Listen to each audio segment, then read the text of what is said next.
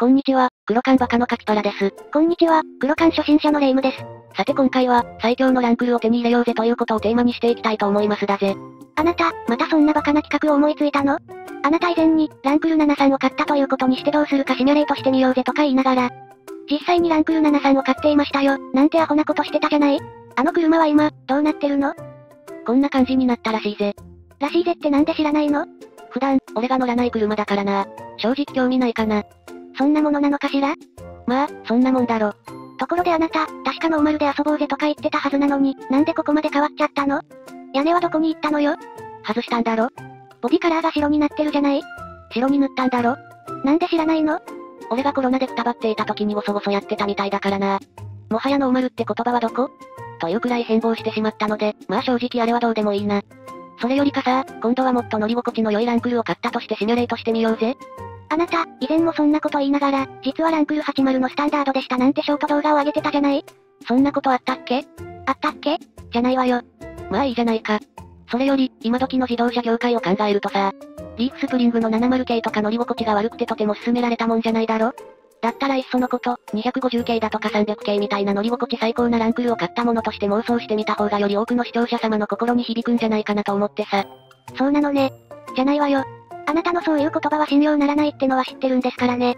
どうせあの時みたいにランクル300と見せかけておいて、実は80のスタンダードでしたよわらわらみたいなこと考えてるんでしょ？疑り深いやつだな俺が過去にそんなショート動画作ったか？そこまで言うんだったら証拠を見せてあげるわよ。カパラ登場。今日はいよいよ待ちに待った。あのトヨタで最も有名。トヨタの四輪駆動車の最高峰。いつかはランドクルーザーを文字通り体現した。あの超絶有名、注文すら受付していないという。両つでない検索でもぶっちぎりトップの検索数を誇る。ランドクルーザーの王の中の王。オズバット紹介するぜ。いや、この日が来るのが待ち遠しかったわね。そうかだってそうじゃない。あなたってば、こんな車や、こんな車や、こんな車や、こんな車や、こんなマニアしか喜びそうにない車ばかり紹介してるじゃない？いいだろういいだろう。最高の車ばかりじゃないか？あなたがそんなことばっかり言ってるからこのチャンネルはいつまでも過疎チャンネルなのよ。わかったよ、わかった。そろそろ腹をくくったよ。やってやるよ、黒艦界最強の4区ってやつを。お？あんたもバカじゃなかったのね。でも一体何するの？決まってるだろ。トヨタさんの最強四輪駆動車といえば、最大、最強、ありとあらゆるオフロードコースで多くの人々に走破性を見せつけた。おついに、ついに来たのね。4区の中の4区。いいよいいよ。その電子制御されたデフデバイスの威力に当時のオフローダーは目を見開いたという。当時の？他社に先駆けていち早く導入した前後コイルリジットサスペンション。どういうこと？ランクル80スタンダードモデルだあんた、アホー。う、うん。なんか作った覚えがある。かな？あるかな？じゃないわよ。どうせ忘れてるとか思って、2番煎じな企画をやろうとしたのでしょ？ふっく、バレてはしょうがないな。いいだろう、いいだろう。レイムがそこまで言うのならやってやろうじゃないか。一部の強烈なランクル信者からはランクル最強と名高い。ランクル80スタンダードモデルを俺が実際に今買ったとしたらどう改造して乗るか？という企画を。ん？ちょっと待って。あなた、以前オーストラリア帰りの80スタンダードを持ってたじゃない？あれは今、どうなってるの？次男にやった。え、どういうこと？だから、次男にやったからもう俺のものじゃないぜ。俺は PZJ70 に乗っているというイメージが一般の人には強いかもしれないけどな。実際、これまで買ったランクルのうち半分は60や80というフルサイズのランクルステーションワゴンだぜ。そ、そういえばそうだったわね。ふっくっく、そうだろうそうだろう。実のところ、俺ほどランクルステーションワゴンを語らせるのにふさわしい人材はいないのだよ。随分、大きく出たわね。まあいいわ。ではさっさと今回の企画を始めましょう。よしよし。以前、俺は80のスタンダードを持っていた頃はこんな感じで標準ボディでスマートな印象の好ましい雰囲気の車だったが、誰かさんの手に渡った途端に、こんな感じに太いタイヤ履かされてデブ化が進んでしまったのと、あの車は、スタンダードだったんだけど VX リミテッドの内装と交換されていたので、ビニールの内装と、タコメーターも存在しないシンプルを極めたようなインパネも失われていたぜ。え、それっていいことよね？なんでだよ？ランクルの良さはシンプルで堅牢なことだろ？?VX リミテッドの豪華な内装なんて、長い間、道具として酷使するには不向きじゃない。そんなこと思うのあなたくらいじゃない？いや、よく考えてみろよ。俺の愛機の PZJ70 はこんな感じのメーターで、最初からタコメーターもないメーターなんだぜ。国産ジープに至ってはこんな感じだぜ。ジープなんかもエンジンを粘らせて遊んでいる人は多いけどな。タコメーターなんて必要あるのか？と言わんばかりの潔さが伝わってくるよな。だからといってこれはないんじゃない？仮にも当時は4区のクラウンにも例えられた豪華路線まっしぐらな車だったんでしょ？いやいや、だからこそこれで十分とは思わないか？デジタルという虚色は全て排除し、アナログメーターは燃料系と速度系、水温系の3つだけというシンプルさ。70のスタンダードモデルに勝るとも劣らぬシンプルさ。まだ70の方が限られたスペースにぎっちり機能が詰まっているのに対して、80の方は、本来つくべきタコメーターなどを大幅に撤去した結果、こんなにスカスカになってしまって。このあまりの物足りなさに多くのランクルユーザーから、え、これ何？と言わせてしまうこの日本文化にも通じるわびさびにも似た佇まい。うーん、あまりの物足りなさに、そこに痺れる、憧れる。あなた、アホよね。カスパラ登場。あなたのアホな趣味に付き合っていたら心底疲れてしまうわ。まあ、気を取り直して80スタンダードをどうやって入手するかというようなことから考えてみましょうよ。まあそうだな。あまりに希少すぎるモデルなんで市場に出てきたら後先考えずに着手した方がいいだろうな。そこまで重要な車なの？まあ、ごくごく限られた一部の熱烈なユーザーから熱い視線を浴びていることには違いないからな。これらは拾ってきた画像だが、こんな感じでピカピカなスタンダードはほぼ皆無だと思っていいだろうな。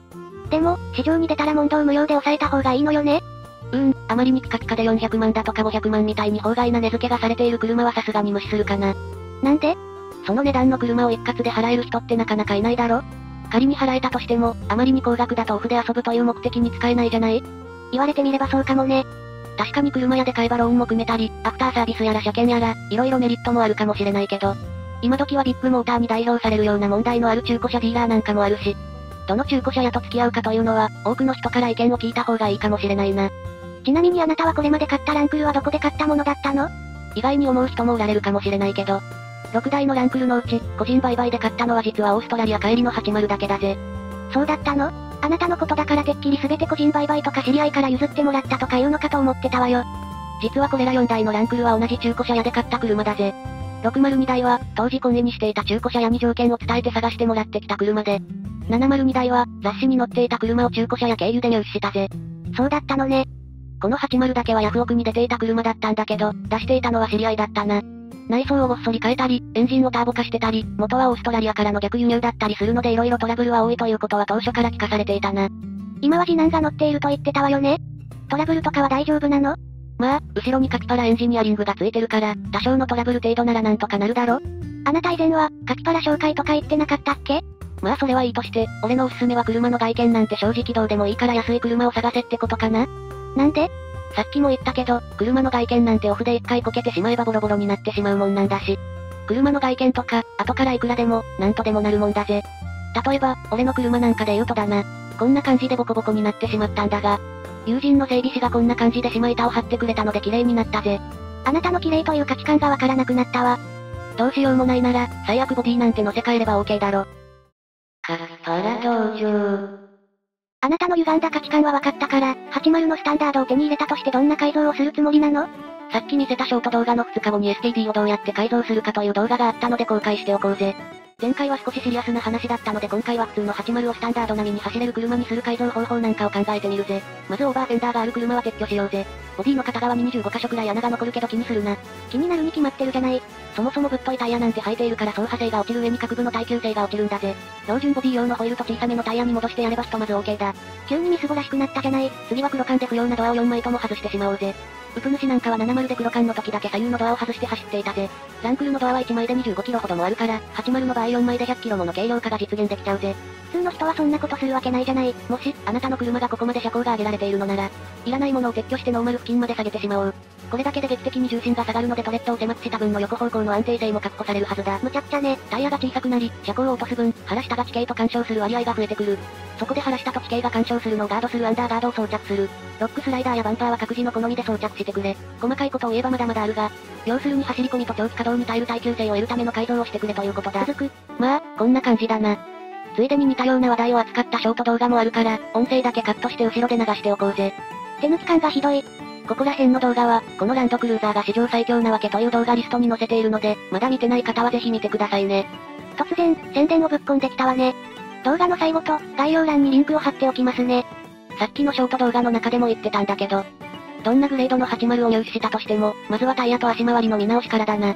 理由は動画内でも説明してるが、長期間安く稼働させるための耐久性を維持しやすいからだぜ。俺も含めて、4区乗りなんてものにプロフェッショナルは存在しないんだからさ。少しでも黒缶走行を上手くなろうと思うのだったら、耐久性を落としたり、無駄に走破性を稼ぐ改造はしない方がいいぜ。それはそうなんだけどね。一昔前、ナロー系アニメだとか小説とかが流行ったじゃない。結局、今ではほとんど廃れてしまったんだけどさ。あれって人や神から努力なしで与えられたギフトで強くなることが、そんなに面白いことなの？と多くの人が気がついたからだと思うぜ。それでもいいんですっていう人に無理に進めるわけじゃないんだけどさ。どうせランクルに乗るなら、少しでも上手くなりたいじゃない？そこまで徹底してるのはあなただけじゃない？そうかなルートやこだわりは違うけど、目指すところは同じ人が多いと思ってるんだけどな。とにかくだな、走り込みしても大丈夫な耐久性を持つように比較的細身で台形タイヤを履くということから始めるとするぜ。具体的なタイヤのサイズは ?25585R16 ってところだろうな。個人的には34インチのスワンパーとか最高だったけど、ここまで高額なタイヤじゃなくても最近は良いタイヤが安くあるよな。いくら安いと言っても中華製や韓国製は俺はパスだと思っているけどな。個人の主観です。あと、前後バンパーは黒缶走行をするにはかなり邪魔になるから、早いうちに軽量で黒缶に適した構造のものと交換するのをお勧めするぜ。将来的にウエンチを搭載するか否かで形状とかは大きく変わってくると思うんだけど、俺個人としては、極力軽量なものがいいと思うな。この画像みたいに ARD の非常にごつい作りのバンパーに変えてしまえば、狭い場所に頭を突っ込んでいってもヘッドライトやボディ側面は守られるんだが、今度は、フロントデフの破損という恐怖と常に戦う必要が出てくると思うんだよな。まあ、そこら辺はどう考えるかによるわよね。そうだよな。走り込みを重視するなら、バンパーレスに使いくらいの方がいいわけだし。狭い林道に突っ込むのが中心になってくる使い方をするのであれば、極めて頑丈なバンパーやウエンチベッドは非常に有利になるよな。まあ、ここら辺は買った車の改造具合にもよるので、買った後でじっくり考えてみてもいいと思うな。あと、80を購入したとして気をつけねばならないのが、このエアコンのリキッドタンクの存在だぜ。ごついバンパーをすでに装着している車なら特に気をつけなくてもすでに保護されていることもあるんだけど、俺の知り合いの80乗りの幾人かは、ここを地形とヒットさせてエアコンガスが漏れて往生してたぜ。自分の車も含め、エアコンガスが漏れた現場を何度も見てきたんだけど、エアコンガスの匂いって、新車の匂いがするんだよな。いきなり知らなくてもいい無駄知識をぶっ込んできたわね。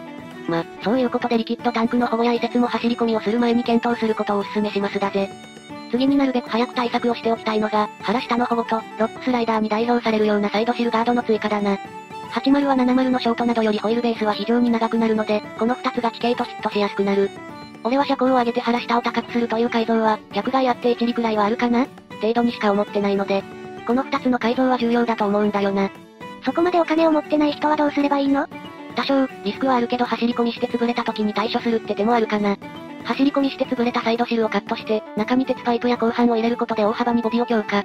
それにより、ロックスライダーよりはるかに高い位置にガードを追加してたりする例をいくつか見たことがあるぜ。カッパラ登場。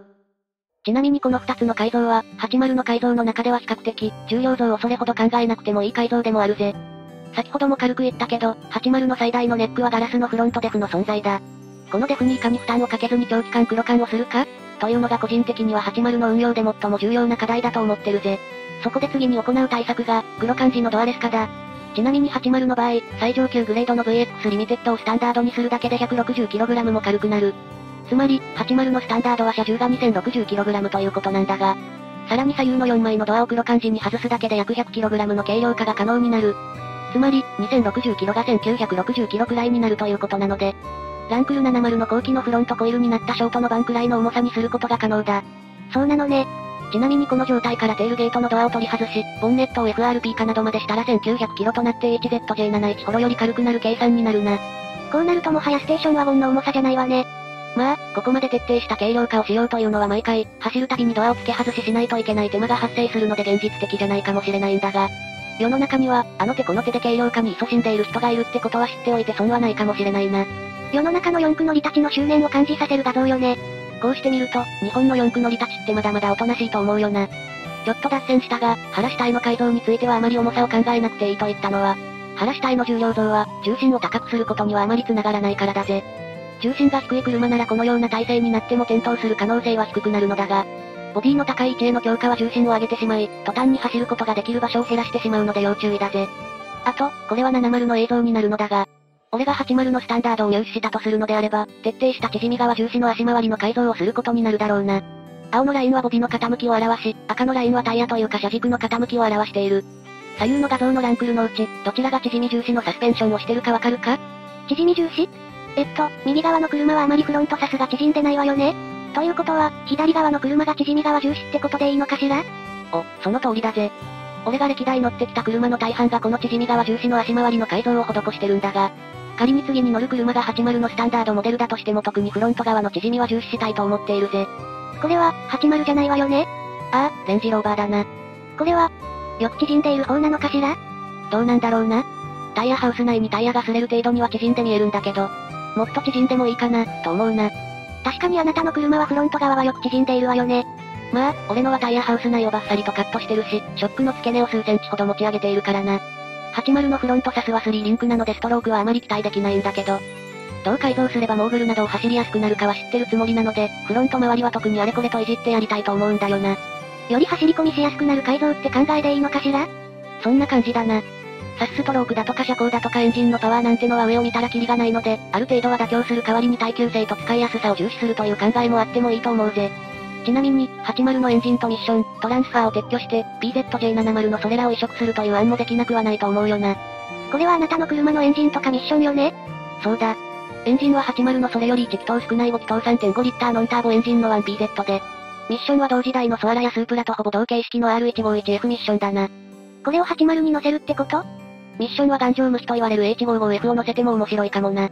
70ユーザーはこのミッションを好む人が多いというわよね。ところでなんで排気量が小さい 1PZ なの？評判のいい 1HZ がすでに乗っているんだからそれでよくなくない？これはあくまで噂レベルの話なんだが、4.2リッターの 1HZ のエンジン単体の重さは 320kg。それに対して3.5リッターの 1PZ は、エンジン単体の重さが 300kg 前後だと言われているぜ。つまり、画像では右側にある 1HZ の方が 20kg から 30kg ほども重くなるってことなのかしら？ああ、そういうことじゃないかと一部で言われているな。だから一部では、この 1PZ に、1HDT などで使われていた純正ターボを取り付け、H55F ミッションを取り付けた80スタンダードなんか面白いんじゃね？などと言われているらしいぜ。わざわざ小さい排気量のエンジンをターボ化して馬力を稼いでおいて、さらに頑丈で一部マニアに高評価を得ていた H55F を乗せようということなのね。うん、H55F に80の純正のトランスファーがつくかどうかがまだわからないのではっきりとしたことは言えないんだが、仮に接続できたとすると、70純正では約1.9倍のローレンジの減速比が2.5倍の減速比となり、それだけでかなりの減速がされることになる。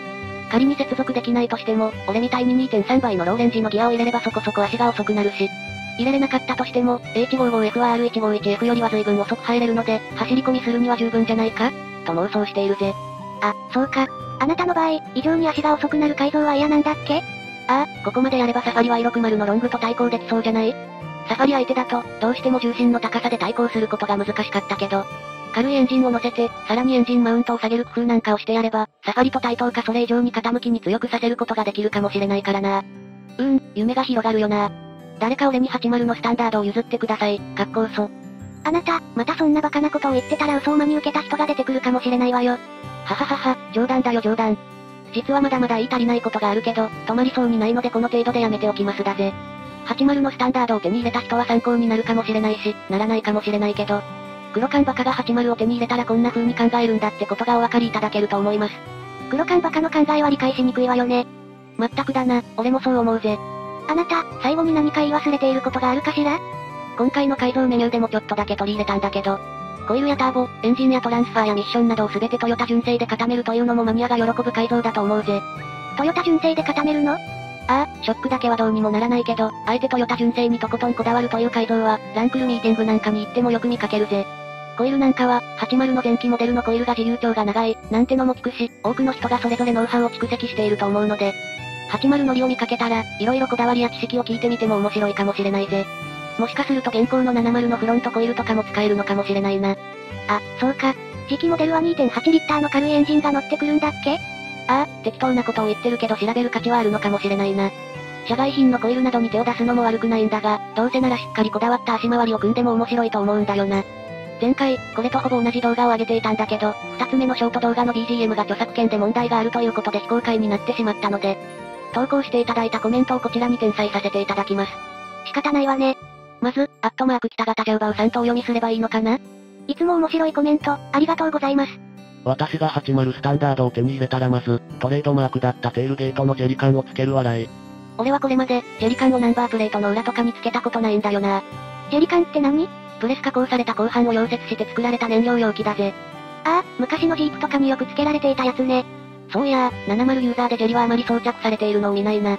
ところでなんでジェリーなの？第二次大戦中のドイツ兵への別称じゃなかったっけな？ということは、もともとはドイツ軍が開発してたってこと？確かそう記憶しているぜ。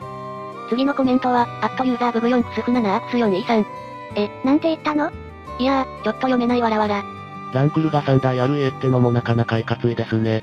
多分、この画像を見られての感想だと思うけど、一番手前の PZJ77V は友人の車で俺のじゃないぜ。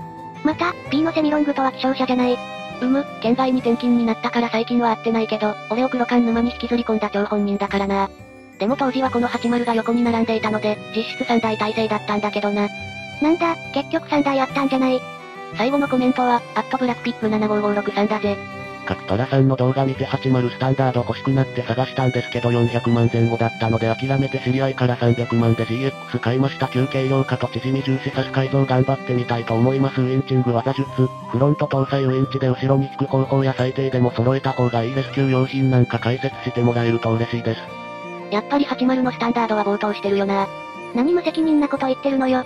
まあ、良き車との出会いは、一期一会みたいなもんなので、ほんとどういう出会いがあるかわからないんだよな。と、アホがの溜まっております。必ずしも、自分の理想通りの車が手に入るとは限らないんだが、GX も負けず劣らず超絶人気車種なんで大事に、そして変態チックな改造や走りや使い方を目指して頑張ってください。変態に変態と言われるって。さっきからうるさいな。あと、ウインチ関係の動画は今、自分が自由にできる車がないのでしばらくお待ちください。また、最近の動画の中にはウインチ関係の動画も多少ありますので、ご覧いただけると幸いです。いやー、自分の動画で著作権うんぬん言われるのは参ったよな。YouTube はたまにそういうことあるわよね。Google にしても YouTube にしても、付き合いはもうかれこれ十数年あるけど、泣かされること多いんだよな。あなた、一時期、Google さんに広告費を月に1000万円入れていたのに急に赤番食らったことあるものね。そんなこと言ってたら、また番食らうぜ。では終わりましょう。せーの。また見てね。